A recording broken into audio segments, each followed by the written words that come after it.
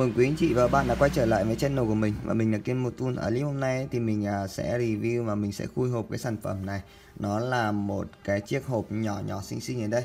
Thì anh em thì thấy là đây là mặt trước của cái sản phẩm, nó sẽ có những cái dòng chữ bằng tiếng Anh. Và đây là chính là cái thiết bị chúng ta cần quan tâm, nó là một cái thiết bị để test cái hiệu điện thế của cái bình ắc quy cũng như là cường độ dòng nạp từ trên xe máy vào cái bình ắc quy của chúng ta xem nó có đảm bảo hay không thì bây giờ là mình à, sẽ quay quanh một vòng cho anh em coi thì cái này thì anh em thể thấy là nó sẽ có 3 tính năng trong một cái máy này.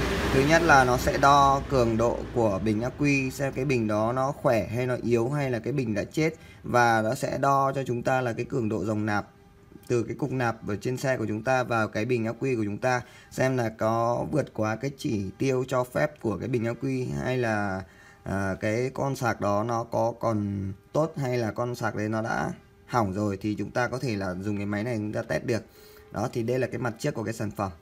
Và mặt bên hông của sản phẩm thì nó sẽ in cho chúng ta cái hình à, một cái bình ắc quy cộng với một cái máy đo ở đây. Thì cái máy đo này nó sẽ đo được cường độ bình ắc quy vân vân. Thì tí nữa là mình à, sẽ test cho anh em coi.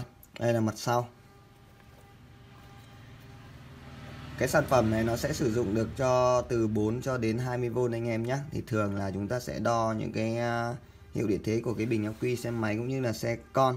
Đấy, xe ô tô con thì nó cũng chỉ là một bình ắc quy thôi. Nó rơi ở tầm khoảng à, 12V rồi thì bây giờ là mình sẽ khui hộp cái sản phẩm này cho anh em coi. Đó thì khi chúng ta khui hộp ra thì ở trong nó chỉ có một cái sản phẩm như này. Đó trong hộp không có gì.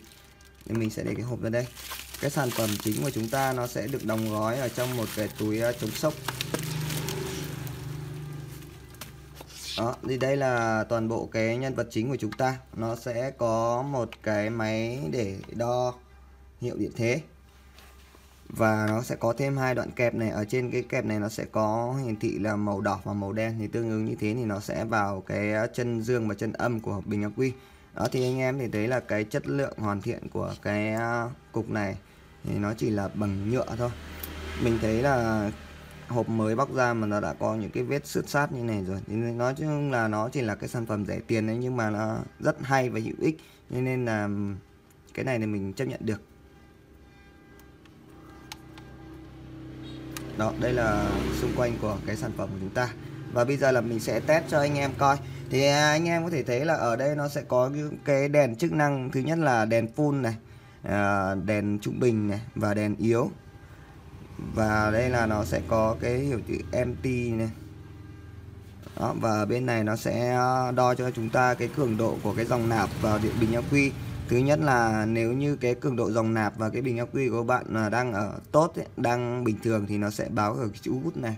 Còn nếu như cái cường độ dòng nạp của cái xe của bạn mà nó cao quá thì nó sẽ hiện lên cái chữ dòng 2 ở đây. Thì có nghĩa là chúng ta cần phải kiểm tra cái con nạp của các bạn xem là có vấn đề gì hay không. Đó và tiếp theo là chúng ta sẽ thấy là một cái dòng đia và một uh, reverser. Reverser ở đây mấy mục đia ở đây nó sẽ có một cái dấu chấm than màu đỏ ở đây thì có nghĩa là cái đường nạp của các bạn nó đang chết đang có vấn đề. Thì chúng ta cần thiết phải kiểm tra và thay thế nếu cần. Và ở đây nó sẽ có thêm một số các cái biểu thị ở đây. Ví dụ như nó sẽ hiện cái bình uh, battery đi ở đây nó có nghĩa là cái bình nó sẽ chết này. Đó ở đây nó sẽ chia ra à, hai dòng một dòng 2 và dòng GPPD này thì mình cũng chưa tìm hiểu lắm. Thì à, cái này thì anh em sẽ tìm hiểu dần xem là cái chữ này nó sẽ có cái chức năng như thế nào nhé. Rồi thì đây là một vòng sản phẩm của chúng ta. Và bây giờ là mình sẽ test à, nhanh cho anh em coi.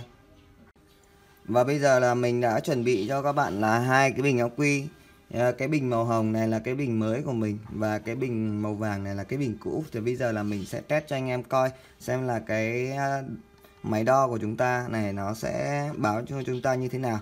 Thì chúng ta chỉ cần cặp một cái dây đen vào cực âm và cái dây đỏ vào cực dương. Đó. Thì ở trên cái ờ, máy test của chúng ta nó sẽ hiện cái hiệu điện thế là 12,7V và ở đây nó báo cho chúng ta là cái bình đang full cái bình đang đầy và bây giờ là mình sẽ test sang cái bình yếu để xem nó sẽ như thế nào. Thì trước khi mình test sang cái bình yếu ấy, thì mình à, sẽ chia sẻ với anh em. Thì ở đây là mình sẽ có một cái bóng led.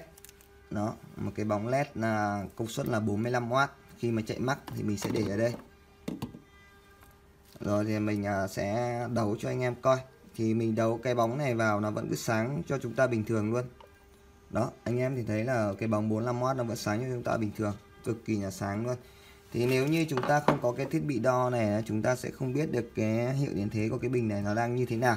Và bây giờ là mình uh, sẽ test luôn cho anh em coi. Cái dây à, đen thì mình sẽ cặp vào cực âm và cái dây đỏ mình sẽ cặp vào cực dương. Đó.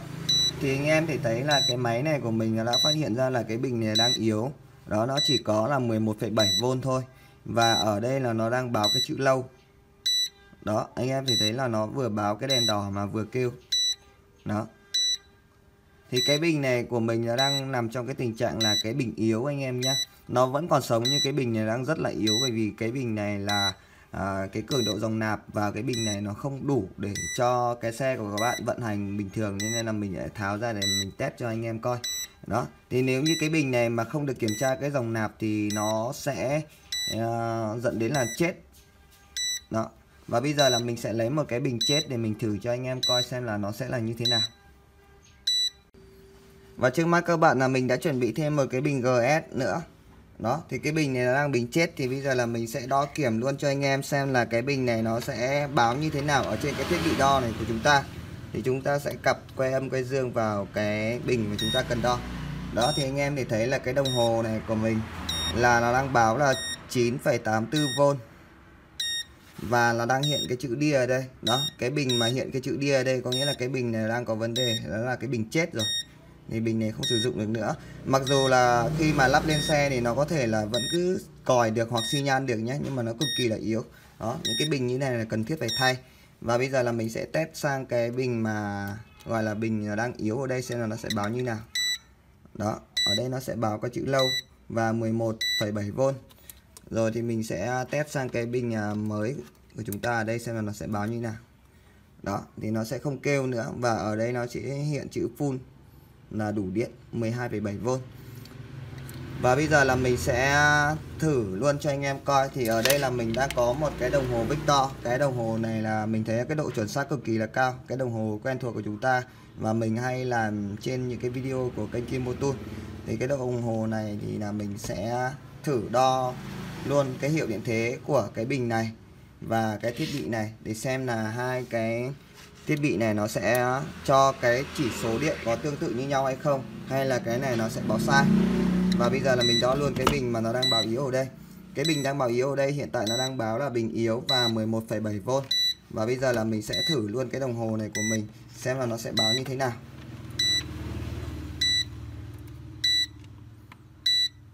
Đó ở trên cái thiết bị đo của mình đang báo là 11,7V và cái đồng hồ Victor của mình nó cũng đang báo là 11,7V đó thì anh em để thấy là cái thiết bị này có giá thành là cũng tương đối là rẻ so với lại cái đồng hồ này.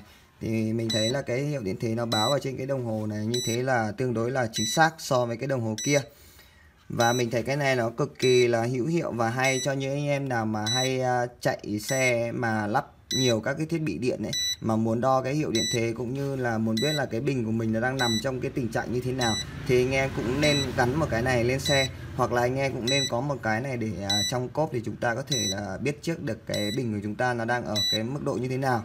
Và như anh em thợ mà gọi là yếu tay nghề trong cái trường hợp mà lắp bình ắc quy cho người ta mà không biết cách đo kiệp hoặc là không biết cách sử dụng những cái đồng hồ như thế này này ở đây nó có rất nhiều thang ấy, thì chúng ta nên sắm cho mình một cái thiết bị đo như thế này. Nó sẽ test được cho cái bình ắc quy của các bạn mà cần lắp cho khách hàng ấy. Thì xem là khi mà cái cường độ dòng nạp nó sẽ ra làm sao và cái bình của người ta khi các bạn kiểm tra là nó đang yếu hay là đang ừ, đang bình thường hay là đang đầy. Bình thì chúng ta có thể là cặp cái thiết bị này vào test thì chúng ta sẽ biết được ngay. Đó, cực kỳ là đơn giản, chúng ta chỉ cần à, kẹp hai cái kẹp vào cực âm cực dương và các cái hiển thị ở trên này nó sẽ nhả lại cho chúng ta chúng ta có thể biết được cái bình của người ta đang nằm ở cái tình trạng như thế nào. Vâng xin chào và hẹn gặp lại. Mình là Kiên Motun ở clip này thì mình đã chia sẻ và đập hộp cho anh em cái sản phẩm là test cái bình ắc quy rồi. Thì cái máy này thì chúng ta có thể là test được trên những cái bình xe máy cũng như là bình ô tô. Nói chung là những cái bình mà dưới 20V thì ở đây cái sản phẩm của chúng ta là nó cũng ghi luôn là từ 4 cho đến à, 20V ở đây. Đó thì chúng ta sẽ test những cái sản phẩm ở dưới 20V thì dùng những cái máy test như này là mình thấy khá là ok so với lại cái mức giá của nó đưa ra. Nếu như anh em có nhu cầu có thể liên hệ trực tiếp với mình theo cái số điện thoại mình để ở góc màn hình ấy, thì anh em chỉ cần cung cấp cho mình xin họ tên địa chỉ thì bên mình ship đến nhận hàng kiểm tra và thanh toán. Đó. Bên mình sẽ ship hàng toàn quốc. Ở clip sau thì mình à, sẽ hướng dẫn anh em test cái này lên xe xem là cái hệ thống nạp ở trên cái xe cấp điện và cái bình ắc quy nó có đảm bảo hay không và những cái chỉ số này nó sẽ hiển thị như thế nào? Rồi, xin chào, hẹn gặp lại.